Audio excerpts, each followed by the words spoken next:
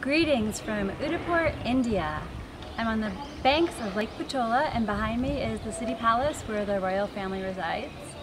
And I'm very happy to congratulate Samata International on its 35th anniversary and a special thank you to Larry Payne for your amazing work and contributions to the field of yoga therapy.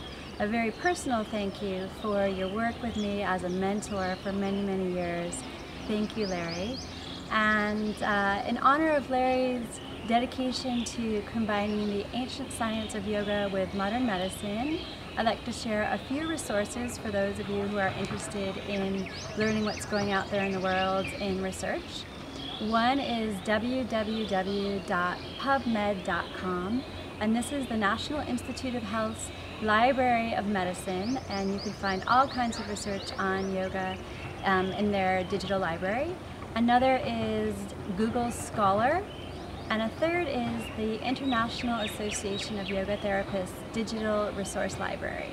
And all three of those offer a lot of information on research in yoga and modern medicine. And then lastly is when working with the clients who are suffering with ailments is to always remember to recognize their divine light within, their um, love within and the Purusha within, and knowing that that is always pure and unharmed. And uh, from India, I'd like to say Namaste.